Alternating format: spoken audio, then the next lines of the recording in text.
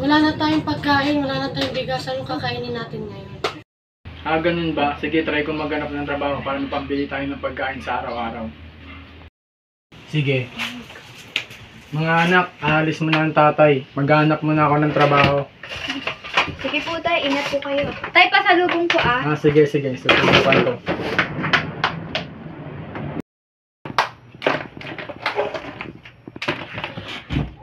Nay, nay, nagugutom na po ako. Ako din po na. Antayin muna natin yung tatay nyo na para makakain tayo. Pag nakakatakot.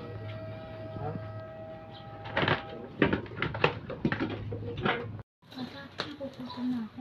Tara, tay pagkain. Anak? Mga anak, nasan kayo? Mga anak?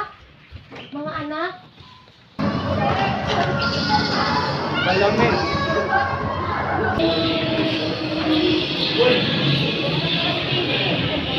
Meron ka alam ng trabaho dyan, baka pwede mo naman ako ipasok. Wala eh, wala akong malamig. Tawagan na lang kita pag meron akong. Hindi. O, kamusta? Anong balita? Sensya na, wala akong nahanap ng trabaho eh. Paano na to? Ano nang gagawin natin? Wala na tayong pangkain sa araw-araw. Paano na yung mga anak natin? Magagawa ko, eh ginawa ko naman ng lahat pero di pa rin ako natanggap. Ano nang gagawin natin? Alam mo ba muntik na mawala sobrang gutom? Paano na? Ang hirap ng buhay na to. Di ko to ginusto to. Sawang-sawa na ako sa buhay na to. Kung alam ko lang na magiging ganito yung buhay natin, dapat di na lang ako sumama sa'yo. Ayoko na, mas mabuti pang itigil na natin to. In our country, we are ranked 69 out of the 121 countries in the 2022 Global Hunger Index.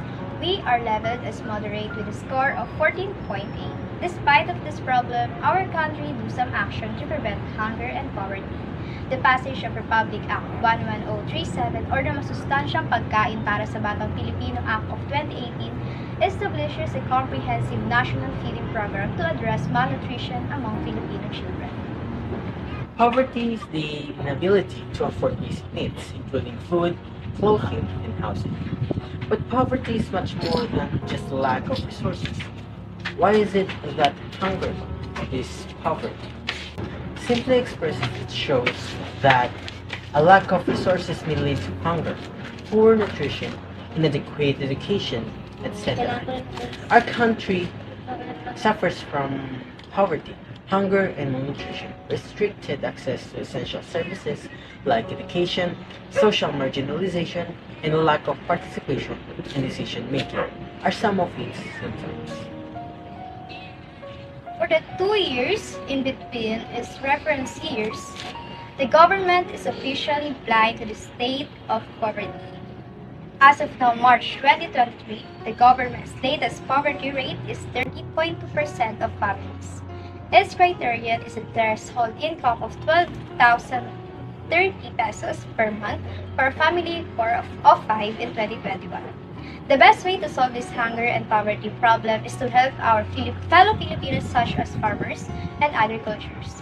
Help them by giving them more equipment that surely will for improving our basic needs such as rice, meat, and others. Poverty is the greatest cause of hunger. Hunger is one of the extreme effects of poverty in the Philippines. But there is enough food in the Philippines local production and imports have seen to it that the country is amply supplied with food and it can be readily purchased anywhere you go in the country. Unfortunately, not all people can buy the food that they need. Hunger is reality in the Philippines. Food is one of the basic needs of human being to survive. All of us depends on food for having a good. Therefore, with a lack of food, many people will be starving and malnourished. World hunger will be one of the most serious problems that the humanity will be facing if we will continue to ignore it. When there is lack of production in food, it will result, result to starvation and famine if, if it gets worse. Poverty drives hunger. Always remember that. Hunger means not having the food you need to meet your energy needs, but people in poverty face a web of food-related issues including malnutrition, obesity, and stunting. Hunger is a problem that the most often affects low-income families because living in poverty means that people are often going without basic needs, such as food, clothing, and adequate shelter. Poverty here in the Philippines is prevalent even in some countries in the world. Poverty and hunger causes many people to lose their lives and their hopes in life. Many reasons why people became poor or hungry and doesn't have enough money to buy something they needed is because they don't take opportunity or they lose their hopes for themselves. To have a good life and to have the food to feed their to themselves and to their children. Poverty is something that we create ourselves. There's a lot of opportunity out there, but it is our choice that makes us what we are right now. It is our life choices that put us where we are right now. People became poor and hungry because of their laziness to have a better life.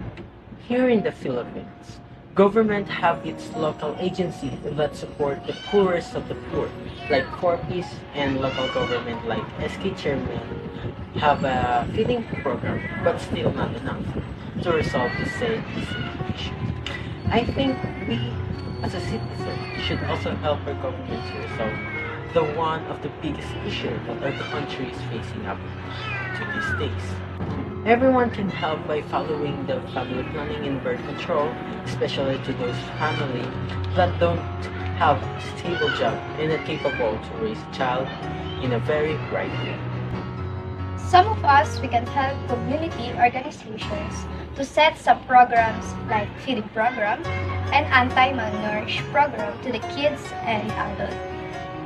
Encourage everyone to be wise and be thrifty. Eat all you can and don't waste some.